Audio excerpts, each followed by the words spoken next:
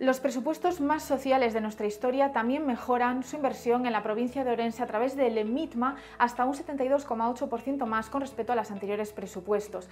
Eh, de este modo, tanto eh, se produce una inversión de más de 9 millones en la mejora de las carreteras como también en la ampliación de proyectos como es la circunvalación del barco eh, de Valdeorras de la Nacional 120 con la Nacional 538, así como también una mejora en la licitación y en la ampliación de los proyectos de la A76 con la A56. Asimismo, también se amplía lo que sería la inversión en el ámbito cultural con la finalización de las obras en el Museo Arqueológico de nuestra ciudad, poniendo fin a una realidad. Con un gobierno progresista, Ourense avanza.